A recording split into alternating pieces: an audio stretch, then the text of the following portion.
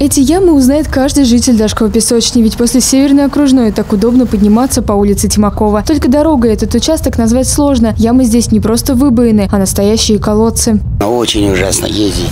Это разве дорога? Вы посмотрите, одни ямы, ничего нету хорошего. Не проехать, только одну резину, колеса все. Порим, рвутся, ну очень страшно. Дорога узенькая, во-первых. Встречные машины плохо разъезжаются.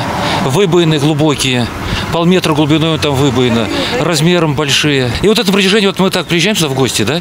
На протяжении вот 10 лет она в, таком состоянии, в плачевном. Никто ее не ремонтирует никогда. Остаться без колес не мудрено. Глубокие и мелкие, широкие и узкие. Ямы расположены на всем протяжении небольшой улицы. В некоторых местах скопление настолько большое, что объезжать приходится либо по встречной полосе, либо брать сильно в сторону. Ужасно, как в принципе по всей Рязани практически.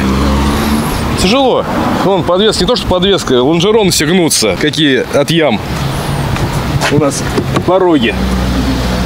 Это все вот ямы, в котором каждый день катаюсь. К пробкам на этом участке уже привыкли. Многие пытаются объезжать дворами, но и это не помогает. Это какой-то ужас, что для прохожих, что для автомобилистов. Вот днем еще более-менее, утром и вечером проехать невозможно. Пробки, потому что люди как бы все дрожат своими машинами и пытаются аккуратно объехать эти ямы, но это нереально. Если в сухую погоду безопасный путь хотя бы видно, то во время дождей улица встает намертво. Ямочный ремонт здесь проводили не раз. Его остатки до сих пор можно видеть на дорожном полотне, рядом с несколькими свежими ямами. А новые делать только собираются. Власти города обещают отремонтировать дорогу в текущем году. Только когда именно, не уточняется. Галина Кудряшова, Станислав Кудряшов, телекомпания «Город».